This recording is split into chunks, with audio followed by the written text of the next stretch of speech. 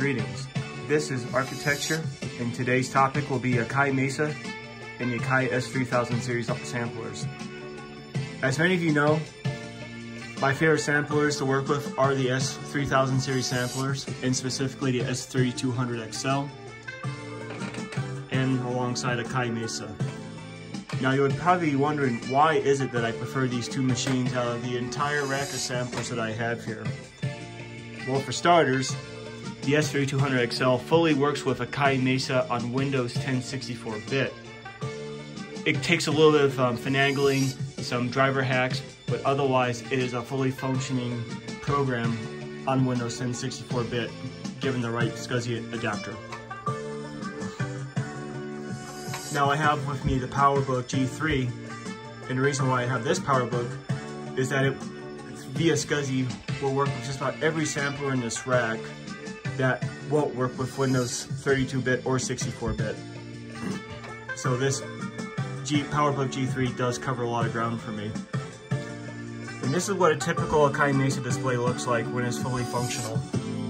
We have 43 programs or samples in memory, and we have about 13 K words of memory left, which I believe is about, I've only used about 6.4 megabytes on this project, so I think by default that's about 16K. And as you can see, you have full parameter control of filter one, filter two.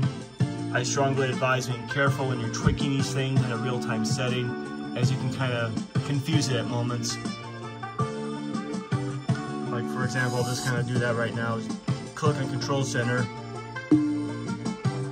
now you're hearing weird sounds and not sure what causes that, but going back to multi will more than likely fix that here. In the multi-program, you'll have my first break, my main pad, the 808 bass, some Rhodes that I recorded directly from my Rhodes,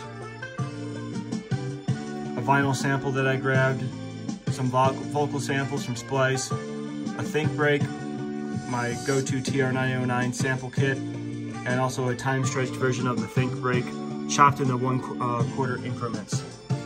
And the reason I go with the one quarter increment chop instead of transient chops these days, it's just easy to work with any other DAW and not have to import a MIDI file for it.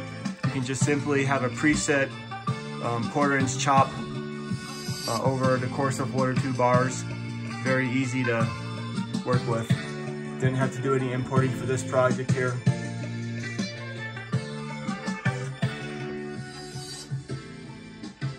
And the other benefit of this machine, using it with the Akai Mesa, is the ability to save your programs to the machine itself. So say for example, I want to save this bell pad right here. You can go to export program, Save samples with the program, click yes.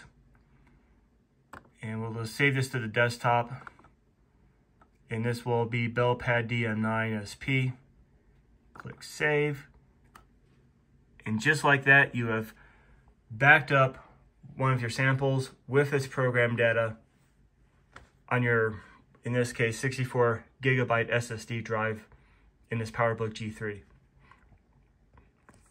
As many of you know, one of the limitations of the S3000 and 1000 series samplers is that you can only work with 510 megabytes per SCSI ID. With Mesa, this is kind of one way you get around that and also have um, computer readable samples and program data for your S3000s or 1000s for that matter. So that's just a brief overview of this workflow. If you have any more questions and want me to do a deeper dive on a different discussion on this, just let me know in the comments below.